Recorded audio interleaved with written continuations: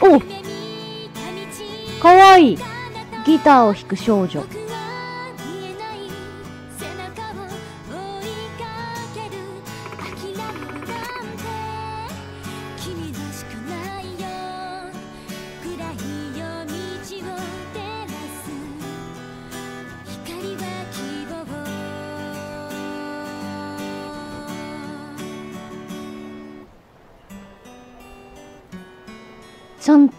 歌がしっかりついてるね。はいはいはい。美浜さなお！夢の途中でした。ご清聴ありがとうございました。スあり。はーい。美浜美浜さなちゃんね。すごーい！待って待って。サナ命神。サナティそれは何？あの公式の公式で出てるグッズなのかな？それとも自分だ自分たちで作ったのかな？ジャケット姿のファン。サナちゃん新曲もすごく良かったよ。太ったファン。サナちゃんの思いがこぼってる感じがしてグッときたよ。チンピラ風のファン。サナちゃんの歌最高だぜ。太田さん北村さんアミドさん応援ありがとうございます。あーもう子さんのファンなのかな？あ僕 CD 買います。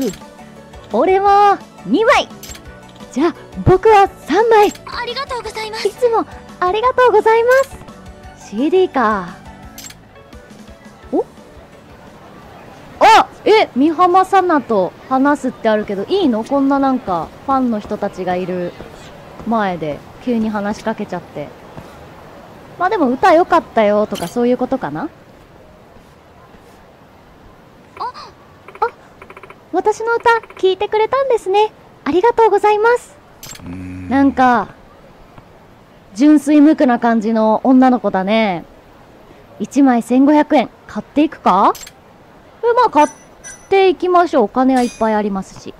1枚もらえますか？わ嬉しいなあ、買ってくれるんですか？嬉しいです。うわ、なんか、なんかすごいラグがある。サナの CD。はいよろ。しくお願いしますありがとう。夢の途中。と、始まりの扉。あ、サイン入りだありがとね。私はいつもここで歌ってます。気に入ったらまたいらしてください。あ、はい。夢の途中っていうサイドケース。またいらしてくださいってあ、今回はこれで終わりなのか？あ、サブイベント、機会があったらサナと話すってあるな。ちょっと離れたら、なんか進んだりするかないや、でも出てないな。一回で完結するやつじゃないのか。なんかよく見たらバーテンダーで、あれ？夢の途中って、サナちゃんのイベントか？なんでバー？バーにいるのか？ちょっとじゃあバーテンダー行こうか。依頼を受注しようかなって思ったけど、サナちゃんのイベントがあるっぽいので、よいせえー、バーテンダーにやってきました。えー、ここで、イベント、あ、マリネーだ。あいるよ美浜さなちゃん。さっきまで歌ってた女の子。まあ、じゃあ一旦もう、この美浜さなちゃんと話してみようか。どんな顔してる？飲んでんの？こっち向いてくれた。一人でバーとか来るんだ。んあれ？あなたは？ん？ん？君は確か。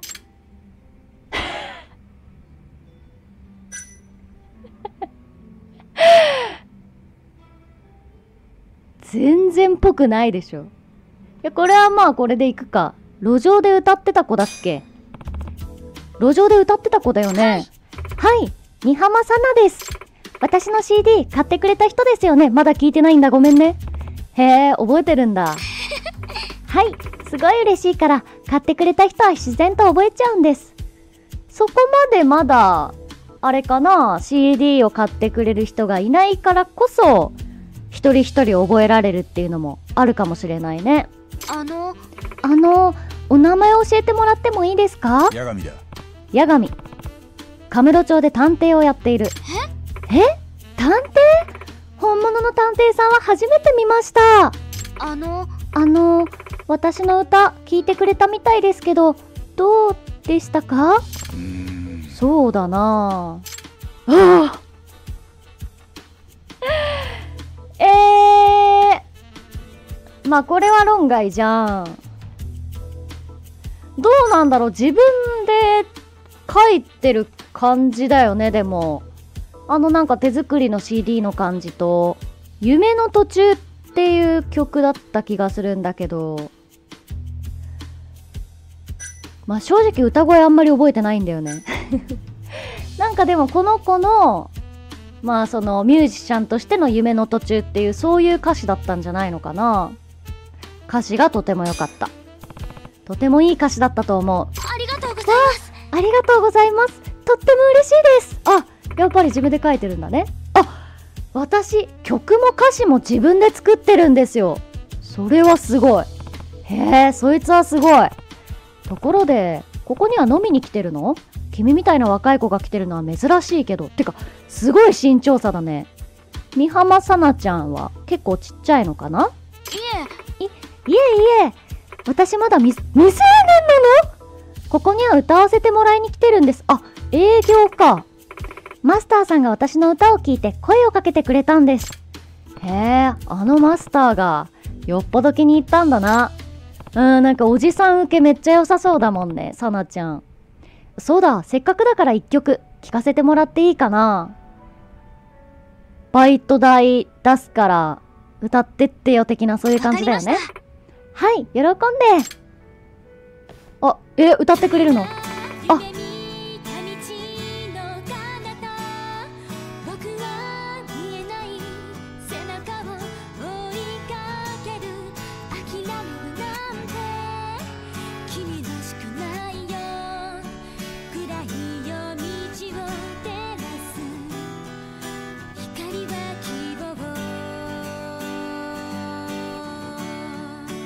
ほどね。なんかあれだね。ちょっとこう友達というか大切な人をこう応援づけるようなそういう歌詞だった気がする。ああうんうんうんうん。いやいいんじゃないですか？ありがとうございます。出てきた。今日はお話できて嬉しかったです。私昼は路上で歌ってることが多いんでよかったらまた聞いてくださいねああええさなちゃんお消えた。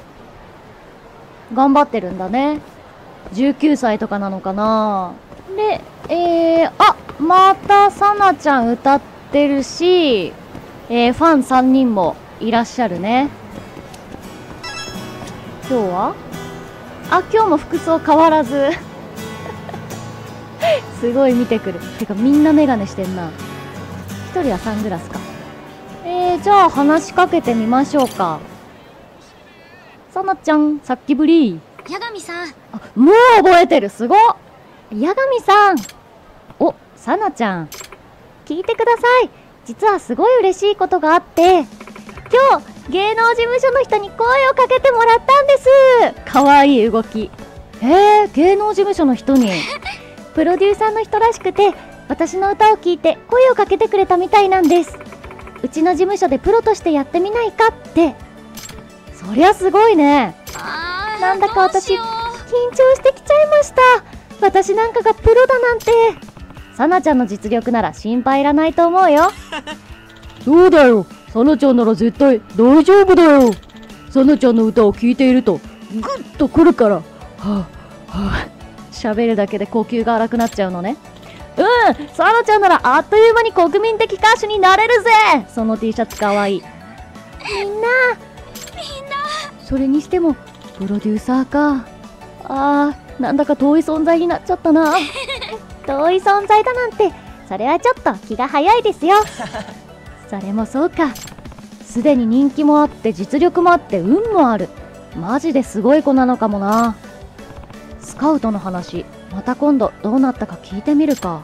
あ結構ちょいちょいと進む感じなんだね。あれ？ちょっと移動したらまたバーテンダーに、さなちゃんのイベント出てる。ちょっと行くか。結構、なんかあれかな？歩いた歩数とか、ちょっとその場所から離れると新しいイベントができんのかな？はい、ではバーテンダーにまたまたやってきました。もうなんか、さなちゃんの追っかけになっちゃったね。八神氏。よいしょ。はい、では、また来ちゃったよ、さなちゃん。八神さんそうか。あ、八神さん。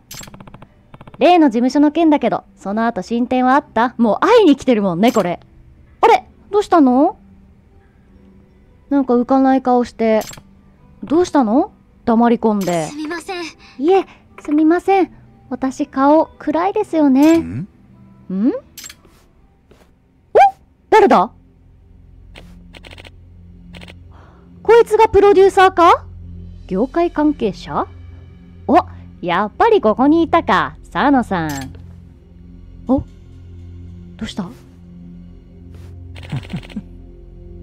夜はここで歌ってるって聞いたからさ。で、どう？考えてくれた？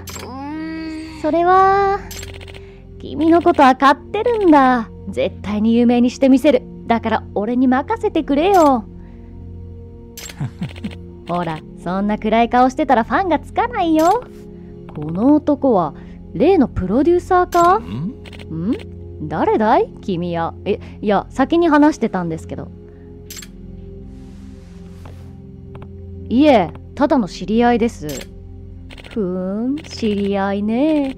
普通の職業の人じゃないよね。何してる人？あ、わか八る神です。八神。探偵をしています。なんだこいつ。あ、あなんか名刺渡してきた。へえ、探偵。面白いですね。俺はこういうものです。片手で渡してきた。待って待って待って。な、なにさ、すえ、西東って書いて何？斉藤さん？斉藤春秋？春秋？あ、斉藤春秋か。ごちゃごちゃした名前だな。お世話になることもあるかもしれませんね。お待ちしております。それじゃあさなちゃん例の件考えておいてね。なんだろう。わざわざどうするのか聞きに来てたけど今の人が前に言ってたプロデューサーの人？はい。はい。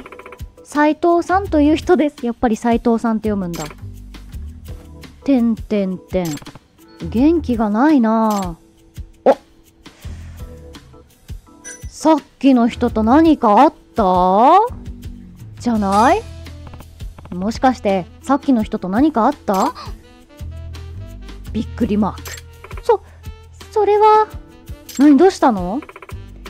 実はさっきの人から仕事を持ちかけられたんです。うんうんうん。プロデビューの条件としてプロデビューになる前に仕事を一回してみないみたいなこと？仕事？どんな？はい。取引会社の社長さんとその接待というかあプロデューサーさんも一緒にいる場所で顔見せみたいなこと？接待？一緒に食事に行くとか？それだけならいいんですけど食事の後のことも覚悟しておくようにって。やばやばじゃないか。やばやばの枕営業持ちかけじゃないか。え？えそれってつまり枕営業ってやつ？わかりません。問いただしてもはぐらかされちゃったから。ただの思い過ごしかもしれません。気軽には乗れないお誘いみたいだね。あの八神さん探偵さんなんですよね。ん？そうだけど。実は私と同じで歌手を目指している友達に悪い噂を聞いたんです。あのプロデューサーさんが関わった女の子はみんなひどい目に遭ってるって。いやもうダメじゃんそれ。それはさなちゃんとしては聞き捨てならない噂だね。はいもし事実なら今回の仕事も裏があるんじゃないかって思うんです。だからそのうん調査をしてほしいっていうことだね。あの人が信用できるかどうか判断するために。ははい。なるほどね。八神さん、引き受けてくれますか？お金はちゃんと払いますから。いやー、19歳、わかんないけど、未成年でこんな夢を追う仕事、仕事というか、夢を、を仕事にするために頑張ってるわけだから、絶対お金はないでしょう。いや、引き受けるよ。わかった。正式な依頼なら断るわけにはいかないからね。負けてあげましょう。ありがとうございます。だけど、俺の依頼料は安くない。上京してきたばかりの君に支払えるかな？あ、上京してきたばかりだっけ？言ってたっけ？そ、それは、あ出世払いだ。出た。出世払い。いい言葉だよね。え？え？今は依頼料はいらない。だけど君が有名になったら、相場の倍出世払いでもらおうか。あ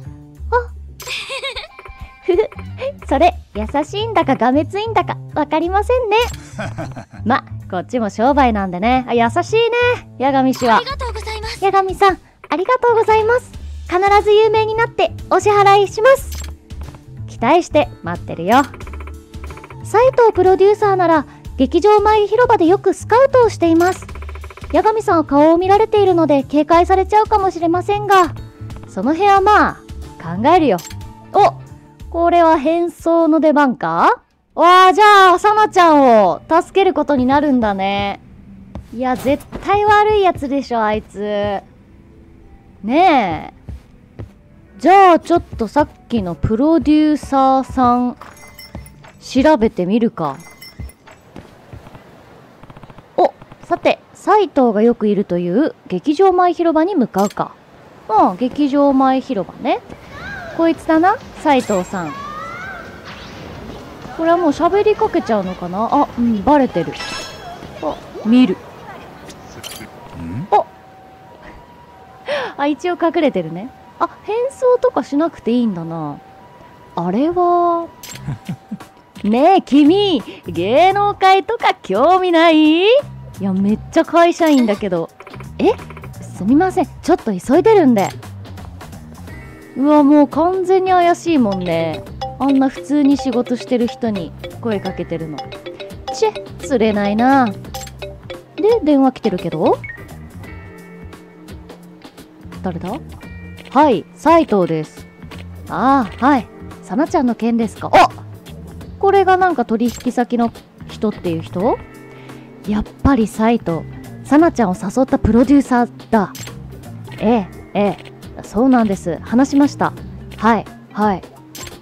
では、すぐ向かいますんで。え？よし、さなちゃんからの依頼もあるし、こいつをつけて探ってみるか。お、尾行だな。オッケーオッケーオッケーオッケー。え変装しなくて大丈夫だった？普通に来ちゃったけど、いつも通りの格好で。ここから変装もできないもんね。まあじゃあ尾行しますか。お？あれ？なんか、二条レの方に入ってった？あ、二条レに行きそうだな。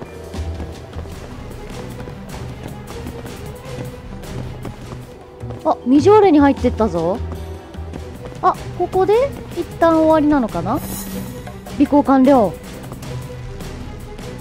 二条レで会うのかな？その取引先の人と。社長って言ったっけ？あの相手は？うわもう柄悪っ会話内容抑えた方が良さそうだな。近くで気づかれないように盗み聞きしよう。え、ちょっと一応変装しとく？あ、変装できるわ。えーどうしよう。張り込みスタイルにしてみるか。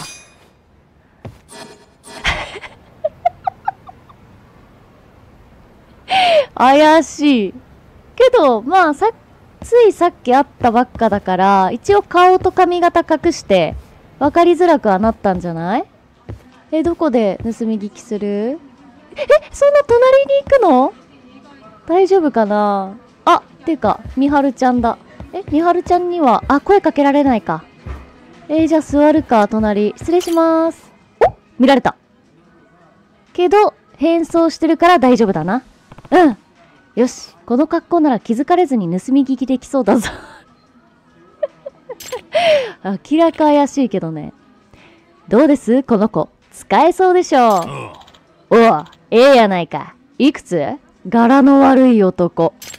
まだ19、あ、本当に19歳だった。三浜さな、シンガーソングライター志望で。おー、ええやないか。はい、純情そうで需要ありますよ。おー、ええやないか。あせや、こんなんどうやろ。実録、枕営業、悪夢に落ちたラブソング。歌手に憧れて上京してきた田舎娘が悪いプロデューサーに捕まってしまうねん。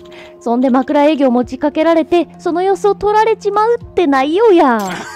どや、ええやろ？これはもう、しょうもない奴らですね、本当に。あの、その悪いプロデューサーって俺のことじゃないですよね。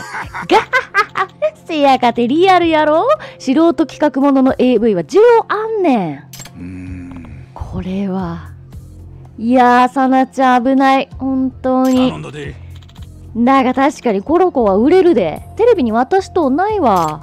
でしょ？その子には俺から話しといたんで、バッチリ撮影しちゃってください。うわ。これで、何、サイトもお金もらってるっていうことだよね。依頼人に報告が必要だな。いやもう、こいつらほんと、早く、捕まえてもらおう。他にも、こういう目に遭ってる人たちいるってことでしょ？さなちゃん調査の結果が分かったので報告するよ。今はどこかな？はい、劇場前広場です。分かった。これから向かうから待ってて。いやー、でもよかったね。何かが起きる前に阻止できて、阻止というか、ちゃんと知れて、危なかったよ、さなちゃん。悪魔の手にね、落ちてしまうところでしたよ。で、えー、っと、さなちゃんがここにいるはずなんだけど、あれ？いないね、さなちゃん。あれ？サイドケースのマークは出てるんだけどな。あイベント起こるか？お、おかしいな。さなちゃんはどこだ？ん？電話。で、大丈夫か？なんか、連れ去られてたりとかしない？もしもし。さなちゃん？八神さん！八神さん助けて！事務所に！え、どうした？どうした？あサイト！おい、お前！さなちゃん！いや、やっぱり、無理やり連れて行かれたってこと？まずいぞ。場所は、どこだ？事務所と言っていたが、あれ？なんか名刺もらったよね何か事務所の場所がわかる手がかりになるものはないか？あるあるあるあるある。早く行こう。え？っ、と、アイテムでいいのかな？あ、アイテムじゃなくてケースファイルか。あったあったあったあった、証拠。あ、サナの CD。拡大とかもできるんだ。おおかわいいサイン。サナ、ミハマ。ちょっとまだなんか、素人感があるというか、かわいいね。で、そんな場合じゃないんだ。これね、サイト。えーっと、太平通り東石山ビル4階。太平通りの東ね。オッケー。とりあえず太平通りの東に行こう。この通りに一旦行ってみましょうか。えー、太平通り東はこの辺りなんだけど、4階って言ってたよなえー、さなちゃんのいる場所見つからないんだけど、株式会社スーパーシンデレラプロダクション。株式会社スーパーシンデレラプロダクション？あ、待ってあ、ここかてかよく見たら、この人たちあれじゃん。ファンの人たちじゃん。サナーズじゃん。あ、そっか、サナーズも心配して、なんか後を追ってきたのかな？石山ビル全然あったわ。あ、スーパーシンデレラプロダクションって書いてあるわ。全然見逃してたこの3人のこと。よし、そしたらちょっと、え、話しかけるか？えー、大丈夫かね？ん？サイトの事務所はここか？ん？あいつらは。よ、よし、行くぞはあ、はあ、そのちゃん、今助けるぞ。みんな、覚悟はいいか？行くぞ！ああいや、いいぞ、いいぞ、いいファンたちだ。おおい、お前ら、何してるんだ？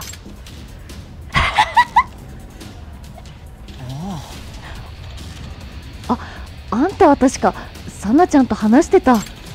あの子が怪しい奴らに連れて行かれて、様子が変だったからついてきたんだ。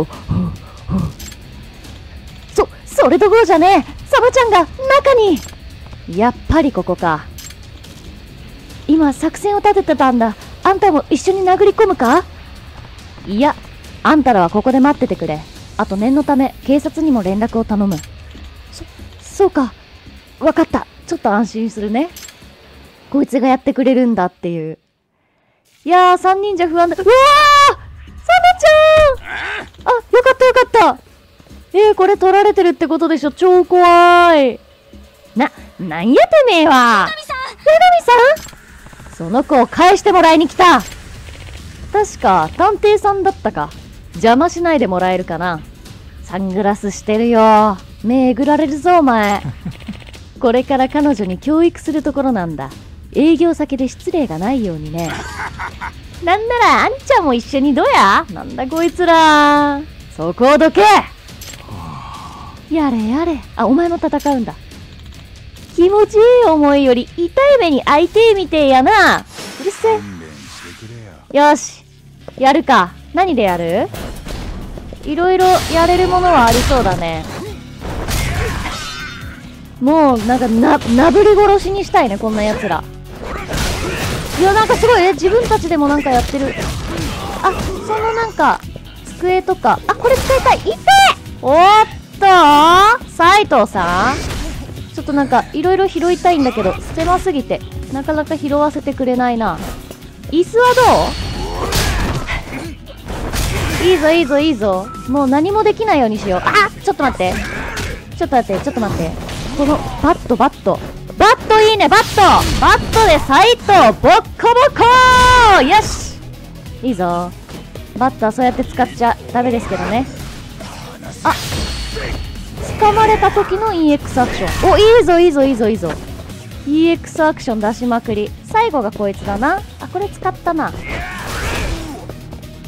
使ってないやつ。あこれいい。あ待ってティッシュとかあるぞ。ティッシュ使いたいな。これはもう大丈夫で。えこれも大丈夫で。ティッシュティッシュ。あティッシュ拾えない。ティッシュ使いたいのに。もう使えるものないかな。あ倒しちゃった。くそー。もう立ち上がれないぐらいに痛めつけたかったなこれは。サナちゃん、大丈夫？大丈夫だった？サナちゃん、もう大丈夫だよ。安心して。あ、よかったね。いや、怖かったね。怖い思いしたね。本当に。劇場前にいたら、拉致られたってことだもんね。あ、警察も来てくれた。八神さん、ありがとうございます。すまない。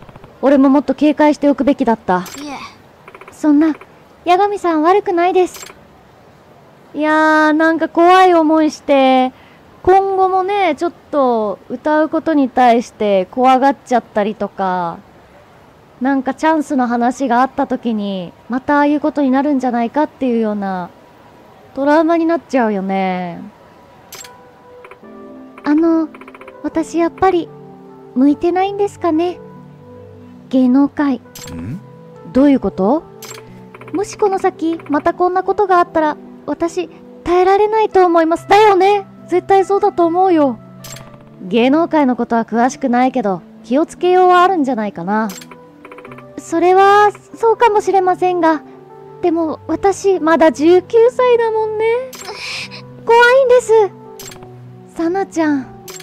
お、思い出しただけで、震えが、いや、抱きしめてやれ抱きしめて、あ、ダメか。19歳は抱きしめちゃダメか。あんな思いをしたんだ。当然だよ。私、覚悟が足りなかった。ただの世間知らずの田舎者だったんです。これなんかこのみんなが、ファンのみんなが見てるっていうのもいいなちゃんと駆けつけてくれて。うん。芸能界っていうきらびやかなイメージにただ憧れて何も知らずにのこのこと悪い人のところに行って無知でバカでそんなことはないと思うけどみんなそうなんだよ。そうやって強くなっていくんだよきっと。帰ろうかな田舎に。